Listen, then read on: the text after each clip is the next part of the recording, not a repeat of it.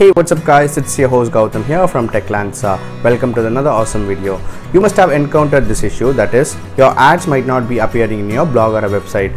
There could be several reasons for this. So in this video we are going to see the top 6 reasons for which the ads is not displaying in your blog or a website.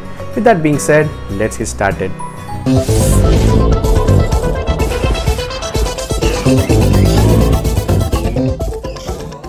If you have not subscribed to Techlancer YouTube channel, please press the subscribe button and also press the bell icon for every video update. Number 1. Using hosted account ads in non-hosted AdSense account. First of all, we should understand the difference between hosted and non-hosted. Hosted comes for Blogger, YouTube and all those stuff but non-hosted comes for your domain name. Suppose if you have an AdSense approved for your blogger, you cannot use that same ad code for your non-hosted AdSense account, which means you cannot use for your .com websites. This is the number one reason.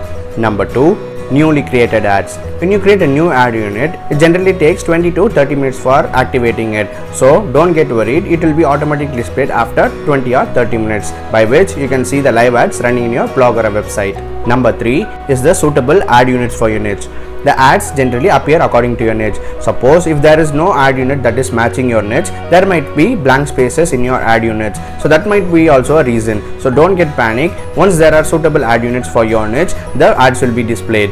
Number 4 is violating AdSense policies. According to AdSense policy, you can have only 5 ad units per page. That is 3 banner units and 2 link ads plus 1 page level ad. So this is only the possible ad units that you can have in one page. If you are violating these policies, your AdSense will be banned and your ads will not be appearing. This is also one of the reason why your ad units will not be appearing in a blog or a website.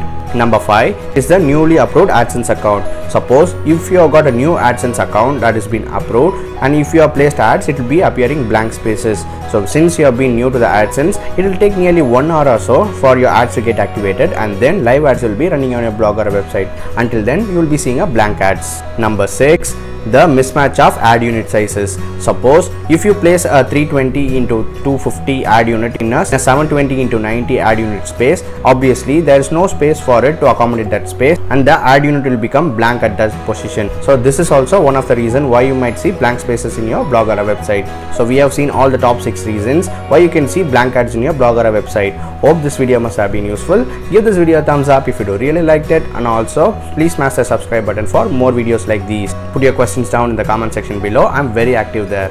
Let me meet you in another awesome video. With that being said, I'm Ghautham and I'm signing off.